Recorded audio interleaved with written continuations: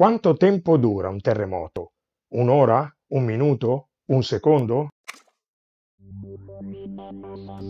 La domanda è facile, la risposta non lo è altrettanto. La definizione della durata di un terremoto è infatti piuttosto complessa.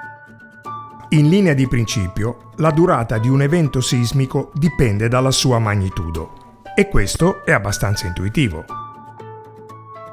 Più forte è il terremoto, più lungo sarà lo scuotimento da questo indotto.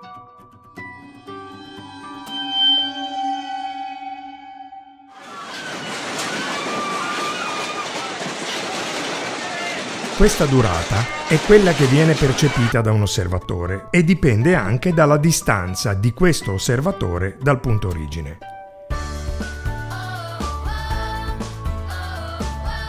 Infatti, le onde sismiche che percorrono grandi distanze possono riflettersi molte volte all'interno della Terra, ripresentarsi più volte alla superficie ed allungare quindi lo scuotimento.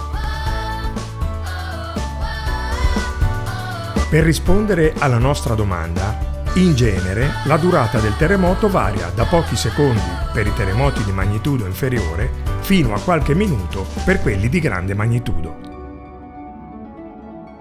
In maniera rigorosa, però, la durata del terremoto è il tempo che impiega la faglia a rompersi.